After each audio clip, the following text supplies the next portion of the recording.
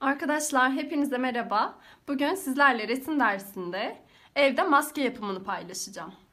Bunun için gerekli olan malzemelerimiz bir tane A4 kağıt, iki tane paket lastiği, zımba, akrilik boya ve fırça. İsteğe bağlı olarak eğer evimizde akrilik boya yoksa pastel boya, keçeli boyayla da yapabiliriz. Şimdi tıpkı yelpaze katlar gibi, yelpaze yapar gibi kağıdımızı katlıyoruz bir ters bir düz şeklinde. Hani daha önce dersimizde de yapmıştık hatırlarsanız arkadaşlar. Bir kağıtta iki resim konulu çalışmamızda. Kağıda resimlerimizi yaptıktan sonra bu şekilde katlamıştık. Bir ters bir düz. Sonra açtığımızda iki resim olmuştu. Şimdi burada da açtığımızda maske elde edeceğiz. Kağıdımı katlamam bitiyor.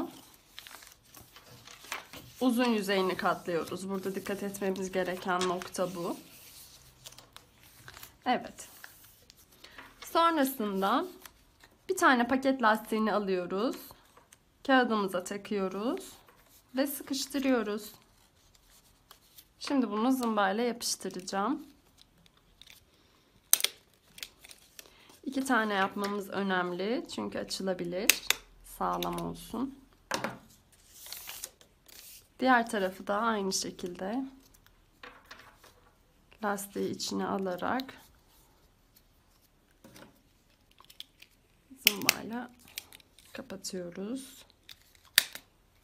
Evet. Şimdi katladığımız tarafları yavaş yavaş açalım. Kağıdımız yırtılabilir. Dikkat ediyoruz arkadaşlar. Evet. İşte bu şekilde maskemiz hazır. Ben üzerine kırmızı puantiyeler yapmak istiyorum. Siz de istediğiniz tasarımları yapabilirsiniz. Resimler de yapabilirsiniz. Evimizde hangi boyalar varsa onlarla yapabiliriz.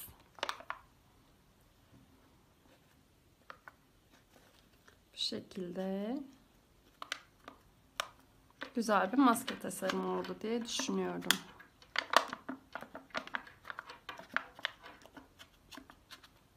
Evet arkadaşlar. Maskemiz bu kadar.